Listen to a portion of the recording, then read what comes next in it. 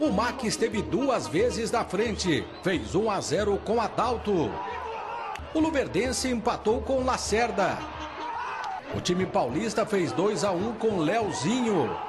E a equipe matogrossense empatou novamente com Fernando em cobrança de pênalti. Placar final: Luverdense 2, Marília 2.